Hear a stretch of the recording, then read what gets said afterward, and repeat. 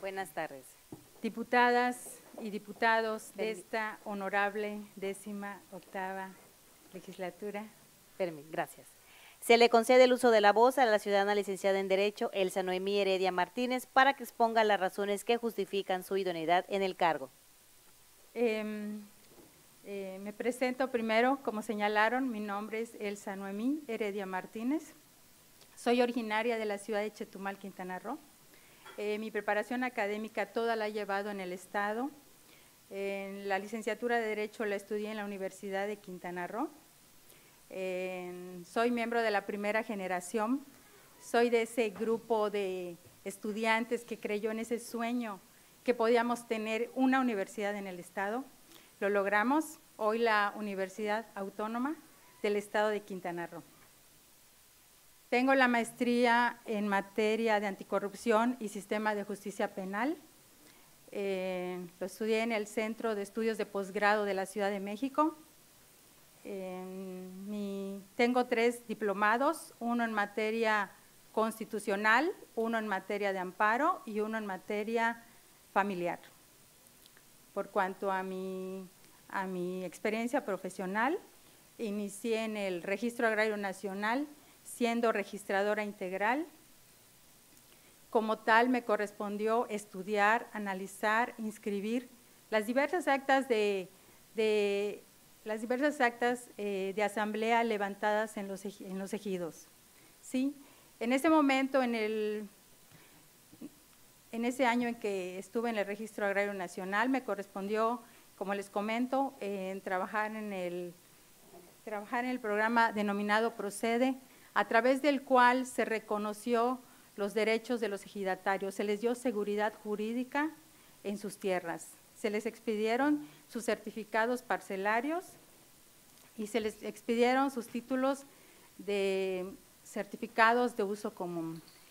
Me considero idónea realmente para el puesto porque conozco a la gente de cerca, porque he conocido todo el Estado de manera directa, porque también en el, en el Poder Judicial del Estado me desarrollé como defensora de oficio en, temas ministeriales ante ante los juzgados penales primero y segundo y de sala en materias de apelación.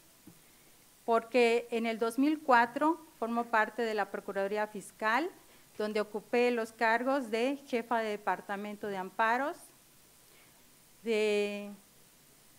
En el 2013 fui nombrada directora de control y supervisión de proyectos.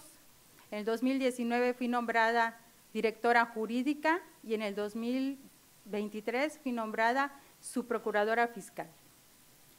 Conozco la materia fiscal, conozco la materia administrativa, em, tengo mi maestría en anticorrupción y considero de dárseme esa oportunidad implementar acciones de permanente actualización de todos los servidores públicos que forman parte o formarán parte del Tribunal de reciente creación, Tribunal de Justicia Administrativa y Anticorrupción. Señores diputados y diputadas, es cuanto. Gracias. Eh, ¿Algún diputado o diputada desea uso de la voz? Se le concede el uso de voz al diputado Sanen. Gracias. Buenas tardes. Buenas tardes. En tu opinión personal, eh, la gente que hoy en día labora en el tribunal debe eh, tener continuidad o, como los magistrados o magistradas, iniciar un nuevo tribunal desde cero. Considero que todas las personas son valiosas. En la medida vamos a de darse la oportunidad, creo que hay que el personal humano es valioso, hay que reconocerle su trayectoria, hay que ver si realmente sus acciones están llevando bajo los principios de ética, de conducta y realmente qué resultados están dando, han dado y sobre todo qué, mm, asuntos no se han resuelto en los términos y bajo los procedimientos correctos. Creo que es importante analizar primero la situación antes de tomar una decisión que pudiera afectar derechos incluso laborales. el personal humano siempre tiene un lugar muy importante. Sí. Se le concede el uso de la voz a la diputada Jennifer. ¿Qué tal? Mi pregunta es hacia usted, ¿cómo asume una decisión ante las situaciones legales ambiguas? Em, la ambigüedad nos lleva primero a un análisis lógico jurídico necesario. Después me lleva a una, a una norma general.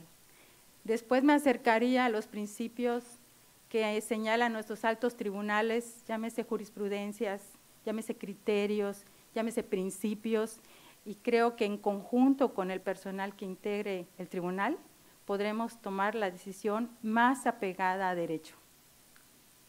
Gracias. Licenciada, en materia de anticorrupción, ¿qué acciones considera necesarias instrumentar para sancionar al responsable de esos actos? Acciones necesarias, ¿no?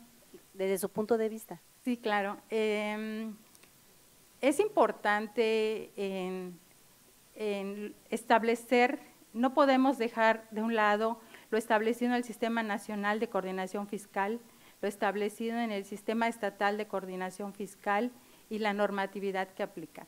la investigación es muy importante.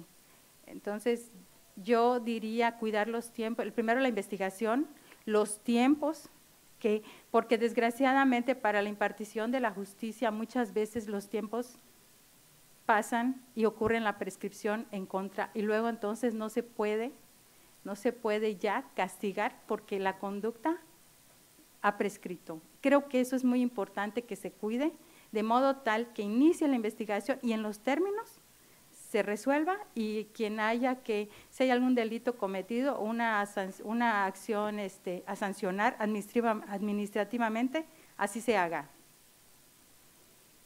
Gracias. Una pregunta más. En caso de ser designada como magistrada, ¿qué sala solicitaría estar y por qué? En, caso de ser designada, me gustaría, porque es la materia que manejo, que he trabajado por 20 años en resoluciones de recursos, de juicios, de amparos, la materia fiscal. Muchas gracias. Muchas gracias. No habiendo más intervenciones, agradecemos su, su este, participación. Gracias. Gracias.